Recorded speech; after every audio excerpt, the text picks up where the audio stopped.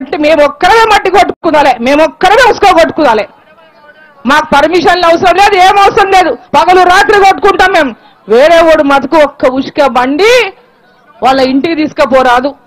ఒక మట్టి బండి ఒక గుంత పుడుచుకొని ఇంకా తీసుకపోరాదు.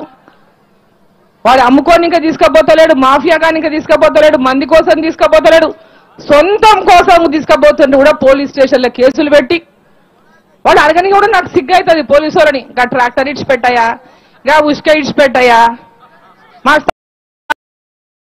కార్యకర్తల బాధ భరించలేక ఫోన్ చేస్తాం. వాళ్ళు ఇడసరు. ఒక్కోసారి మా పైన ఆఫీసర్ దాకా పోయిందమ్మా కంప్లైంట్ అయింది కేసు అయింది అంటారు కేసు అయిపోయింది. ఇప్పుడు ఇడసలేము. ఎంబడ కేసు బుక్ చేసినాం. ఇడసని ఇంకా రాదు. పెనాల్టీ కట్టియాల్సిందే. అయ్యా ఏదో చూసేయండి బీదో కూడా అడుక్కుంటాం అది మా చేతిలో లేదు. పైన ఆర్టీఓ చేతిలో ఉందంటారు. వాళ్ళకి ఫోన్ చేసి వాళ్ళని అడుక్కుంటాం. అయ్యా బీద ఓడు కొంచెం కండ్ల చూడండి వాడు. ఏదో కష్టం చూస్తే కండ్ల చూసి వాడిని ఏదో బీదవాడిని ఆదుకునండి. అని ఒక్కొక్కరిని అడుక్కొని మనం కాపాడుకుంటూ వస్తున్నాం మనం బీదవాళ్ళం కార్యకర్తలకు.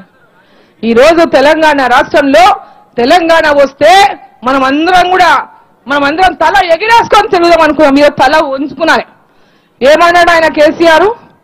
మనం తెలంగాణ గురించి ఒక్క తప్పు మాట మాట్లాడరాదంట. ఆంధ్రోలు నవ్వుతారంట. ఆంధ్రోలు నవ్వుతారంట నవరాదంట మన తెలంగాణలా ఆత్మహత్యలు చేసుకునేటటువంటి మాట చెప్పకూడదంట.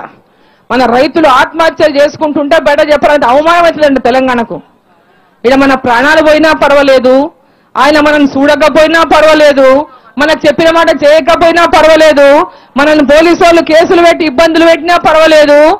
ఏమి చేసినా భరించాలి కానీ మనం బయటకు చెప్పుకుందరాదంట తెలంగాణ ఇటు జరుగుతుందని చెప్పుకుంటే తెలంగాణకు అవమానం అంట అది సిగ్గులేని ముఖ్యమంత్రి.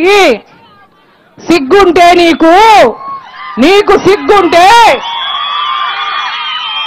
నీకు సిగ్గుంటే తెలంగాణ ప్రజలకు అందరు కూడా నీ ముక్కు నేలకు రాసి తప్పైందని కాలు మొక్కాల తెలంగాణ ప్రజలకు? తెలంగాణ ప్రజలకు కాలు మొక్కాలని చెప్పినటువంటి హామీలు నెరవేర్చినందుకు.